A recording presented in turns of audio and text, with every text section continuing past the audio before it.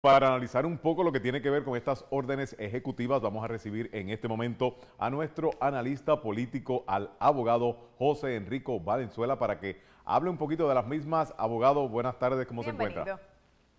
Saludos, muy buenas tardes. Nos ven y nos escuchan a través de Noticias Ya Hablando, edición digital. Saludos. Abogado, antes de comenzar con la idea que teníamos que era hablar de estas órdenes, quiero comentarle y que me diga su opinión porque acaba de salir hace como una hora que la Cámara Baja ya se prepara para el lunes presentar este artículo de impeachment, este juicio contra el juicio político contra el presidente Donald Trump. Así es, eh, acaba de trascender en las noticias ahora de que se van a presentar finalmente los cargos eh, de manera formal por la Cámara Baja ante el Senado de Estados Unidos y esto activaría todo el proceso de residenciamiento dentro del Senado. Habría que entonces ver si el Senado va a actuar rápidamente sobre estos artículos de impeachment eh, porque necesitarían, en este caso necesitarían 10, 15, discúlpeme, 15 senadores que sean republicanos de, de manera que se puedan unir con los demócratas porque está empate 50-50 con el tiebreaker que vendría siendo el voto de la vicepresidenta Kamala Harris, que fungiría como presidenta del Senado. Así que estaría interesante ver si en efecto esto va a ocurrir y cómo el senador Mitch McConnell, que vendría siendo ahora de la minoría, va a reaccionar sobre estos artículos de impeachment y ha dado a entender de que le va a dar paso a los mismos.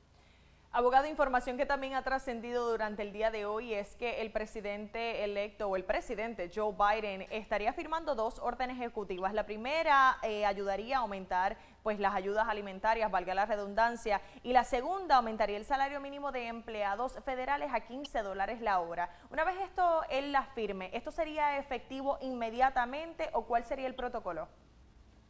El protocolo usual, eh, según lo que acabo de leer, es que va a, también a reactivar los collective bargaining agreements o todo lo que conlleva los eh, acuerdos entre las uniones con eh, federal contractos, entiéndase con empleados federales en agencias de gobierno de Estados Unidos. Y eso pues se va a tener que evaluar por parte de las uniones también, de manera que se pueda aumentar este 15 dólares por hora. Y me parece que es una buena iniciativa, porque en el gobierno federal sí puede realizar estos cambios dentro del propio gobierno. Ahora, lo que estaría en veremos sería en el sector público, perdón, en el sector privado, porque para ello tendrían que entonces crear algún tipo de legislación federal nueva, de manera que los empleados privados eh, tengan también a su haber ese incentivo, no tan solo para poder ofrecer eh, los 15 dólares la hora, sino también poder el gobierno subvencionar de alguna forma, porque sabemos que los, eh, privados están bien afectados por la pandemia entiéndase todo lo que son los pequeños comercios, los grandes también, y lo que es toda la venta al detalle al por mayo.